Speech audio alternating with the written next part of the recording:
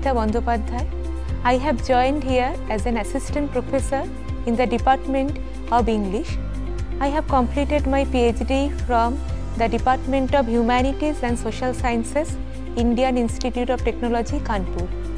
For my PhD topic, I have worked on environmental humanities with the focus on particular subjects like land rights, water resource crisis, and marginalized communities like tribal people and their rights on environment and other things. I had a habit of reading books, intensively reading from the very childhood and my mother used to teach in a high school as an English teacher and my father is also a professor in a university and a former vice chancellor of a state university in Bengal.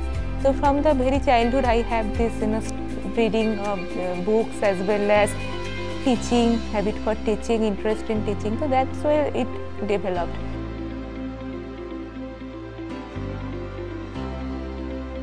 Like I always emphasize on audio-visual mediums like PPT presentation and all so that it becomes more attractive to students.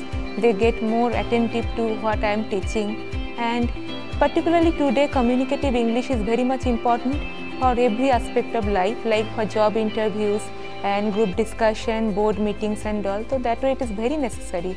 And I also emphasize them like to read unseen passages, read books and other anything like newspaper and all and also take care of their grammatical senses so that they can develop and rather apply it for their further studies. Sometimes it happens that English grammatical sense some people lack it and they also face difficulties for that in later phase of their career.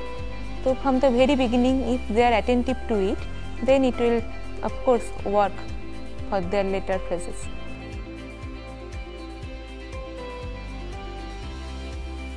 The environment is very friendly and this is a very eco-friendly university. The research atmosphere is also very good. All the faculties are provided with research hour as well as other instruments for research like laptops, book grants, etc. And library is also very good and students are also very friendly and brilliant here.